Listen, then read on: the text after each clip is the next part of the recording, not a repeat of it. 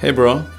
Hey, How- bro. How are you? Uh, I'm doing well, man. Does it look kind of blue to you or something? I, I'm feeling a little blue, yeah. Are you feeling? I'm well, blue. it looks kind of blue. I wonder why. Oh.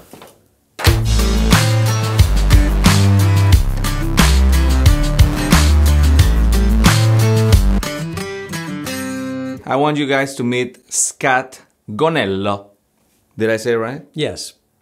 Did I put too much emphasis in the Italian? it sounds much better when you say it, but yeah, it's Gaccanello. I'm just trying to respect the fact that it's an Italian last name, Yeah. correct? Or is it French? No, I just You kidding. know, it's Italian, but and you all know Andy Collins here. Well, well, well. Uh, it's Oh, more. oh, I'm sorry, Andres Colin. Uh, that's uh, more like it. Thank you very much. This is a guy behind the success of my website. A lot of people, uh, places I perform, that's that's he he just nailed that one. was that your phone? Nothing. What did I tell you about uh, Nothing. muting the phone? Hold on, actually, you where's my? that one Oh, too. that was my phone. That was your phone. no, we'll no, go with you're that. kidding. You're kidding. Yeah, that was his phone. That was my phone.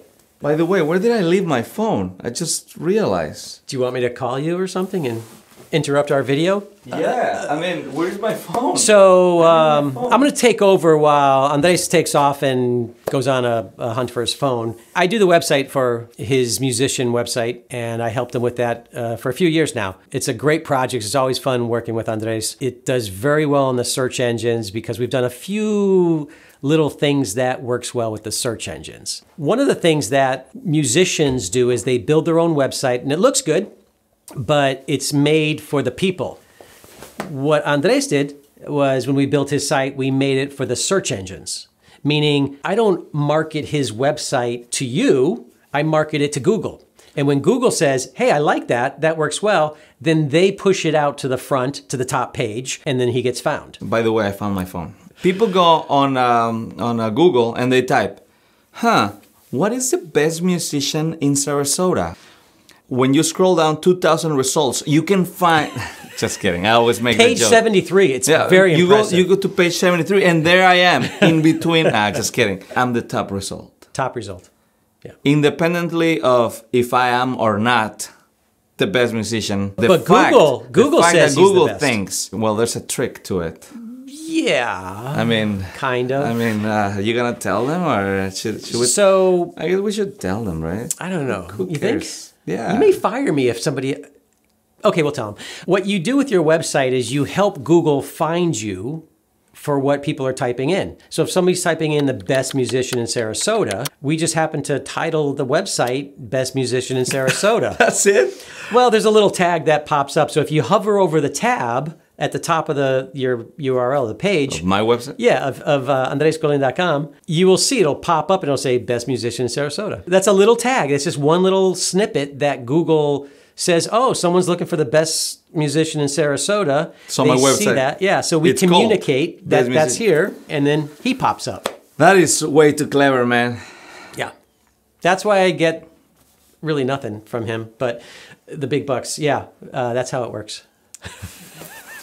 I'm No, sorry. no, no, please. No, no, let me fix it. Uh, I, I, I don't do change, really. no, no, It's- no. it's I. I got some Mexican pesos here. Mexican pesos. Mexican pesos. Will they work in Belize? How much? Uh, how, how much should I? How much should I give you, man? I just printed this this morning. Oh, I, I work for food most of the time, actually. So. but this is like That you is can smell it. I, I just I just Dude, printed the this ink's morning. still wet. Yeah, it's still wet. Wow. I got I'm this little machine that, that prints bills. Wow.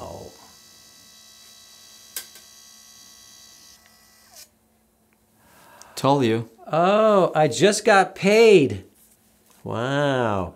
Wow. For all your money needs. And it's so glossy. It's so, it's like I got a, a what is that, a UV coating or something? Or Guys, don't do this at home. It's only a joke. Yeah, yeah, that's how it works. It's just a little little uh, word phrase that Google searches and has indexed his website for. And normally, websites that show on the top page have you know hundreds of pages and links and videos and all this stuff. He's basically got a three-page website, maybe four pages. It's not big, but yet he still dominates the top page for best musician in Sarasota. How cool is that, guys?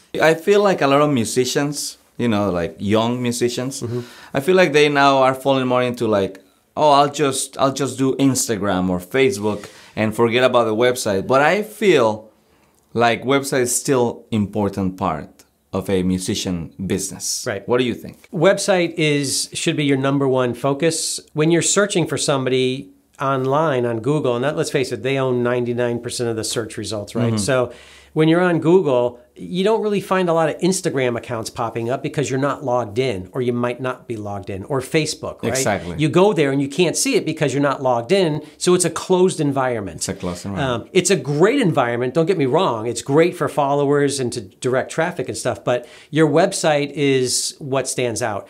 And what I have found over the years working with music- musicians is they'll they'll get a Squarespace site or a GoDaddy site, and please don't buy a Wix site. All right, these are not made to show up in the search engines. When we built Andres, This is new to me, actually. When we built his, we built it in WordPress. It's the most searchable site out there, and you can expand it however you want.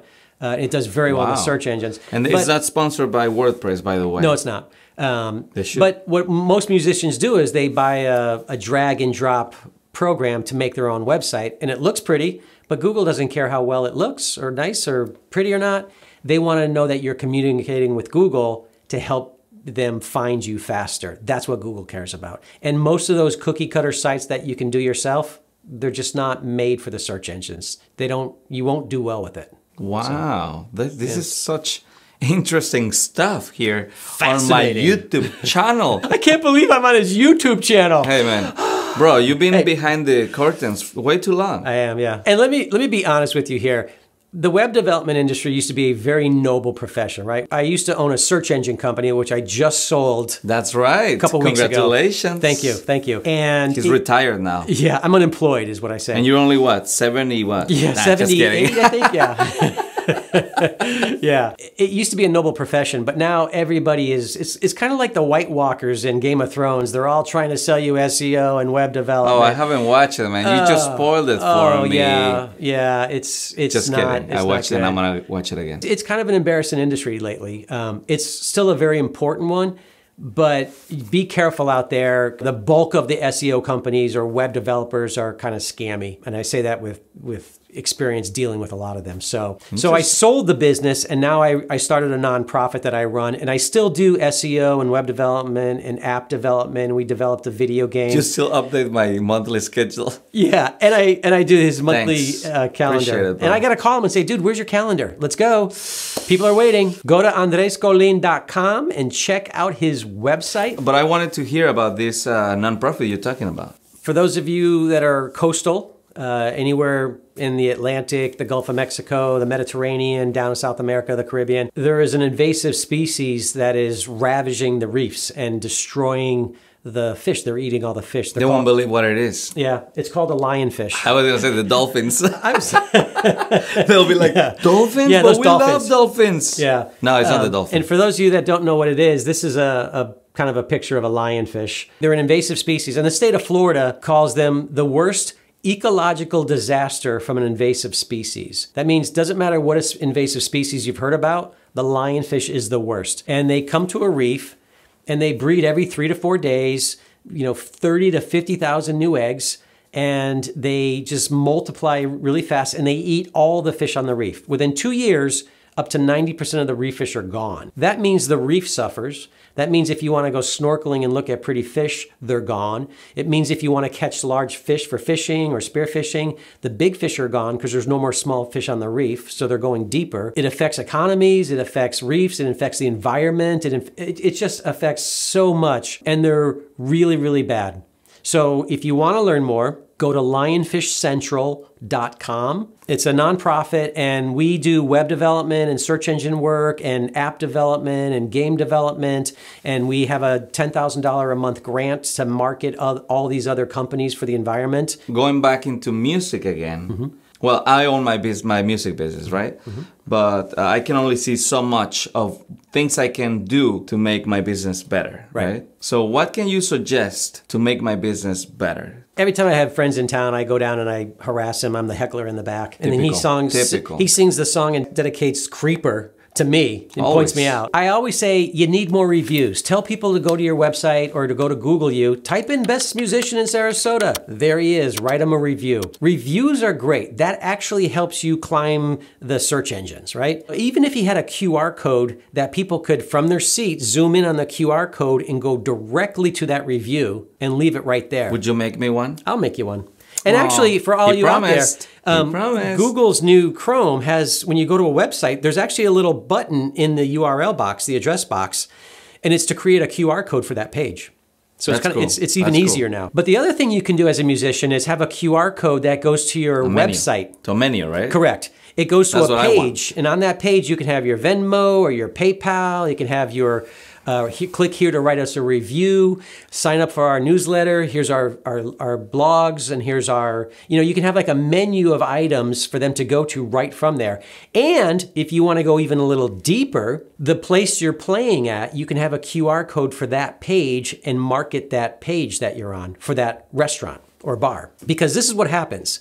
When you're typing in, let's say somebody's going to like XYZ restaurant, they're in town and they want to see what they have on the menu. If they search that restaurant, your name may show up for that page as well because you got the URL that says XYZ restaurant. And you can say, We play Oh, here. wow. And as a client of yours, that restaurant, they're happy that you're promoting their restaurant. Interesting. And that helps you get your foot in the door for some of these restaurants because they want, they know he's a good following. Well, then I will have to talk to them. Yes. And come to an agreement Correct. that they add me to their website, right? yeah, if they want to. Um, Because or, It- or it's no. nice if you switch, but even if you don't, when somebody searches for that restaurant, you have a good chance of showing up in the search engine. Then on that QR code, they can go to that restaurant page that he just built and say, hey, welcome to XYZ Restaurant and Bar or whatever. You know, maybe put their logo up there. Uh, here's when I play here on this night. So you're advertising your schedule at that restaurant. And then you've got, uh, you know, leave me a tip or write me a review or join my my mailing list and all that. So by having multiple pages Hmm. So you of all the to have bars, different pages with a, with a specific QR, QR, QR code. code. For example, if I play at three venues, I carry three Yeah. different signs. and you can have fun with it. You can have a, a a picture doing this and then just put the QR code in between it on the you know Photoshop it in or something. So by by adding more pages of the actual location and venues you're working at, that actually helps you get found more. Number one, but it also helps you keep your foot in the door at that restaurant because they want the following. They want people to come to that. And that's bringing traffic to their website from that page as well. By the way, every time you put something on your website, Google sends a little bot in and looks at that page and places it somewhere in the search engines. Really? Yeah. That's the only way you can call Google back to let them know that you're you're still there. So by updating his calendar every month, they're coming back and looking and re-indexing that page. For real? For real, yeah. How do I entice the crowd to leave me a review? Because you said that's the number one most important thing, right? Right. So I've seen different musicians play out. Some just kind of keep their head down and sing and they don't interact with the crowds. They're great, their background music. It depends during the time of the day or, or where the location is. Andres really uh, works the crowd. It's, it's entertaining, right? Whether he's singing or making jokes or trying to pick people out and embarrass them. And, you know, he's Always. really good at that. Well, some people embarrass themselves.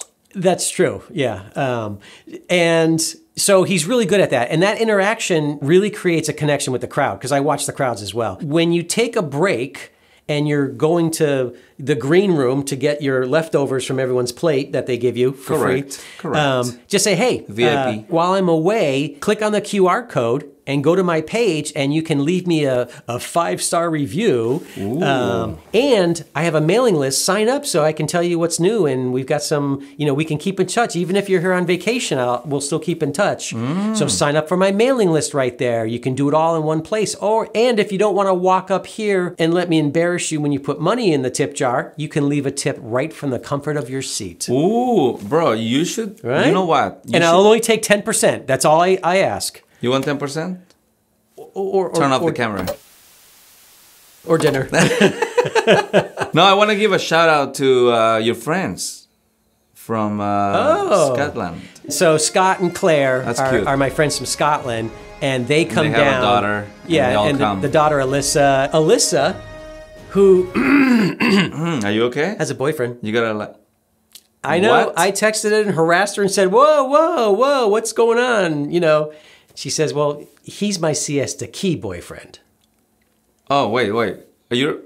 Yeah. Oh, no, my wife is going to hear this. Yeah, just just in uh, name only though. Oh, okay. okay. Um, they have to come out and see Andres play. They have to come out. They'll you know what I wanna do? trips around his playing. That's so nice, right? Oh, Yeah. Because it's a, it's a long way from Scotland. From Scotland, it's quite a is a long way Yeah. to come see me play. It's a long drive. But I gotta say, I really would like to go to Scotland and play. I'm sure Maybe- we can figure something out. You got an open invite, number one. They said come out anytime you want. I would love to.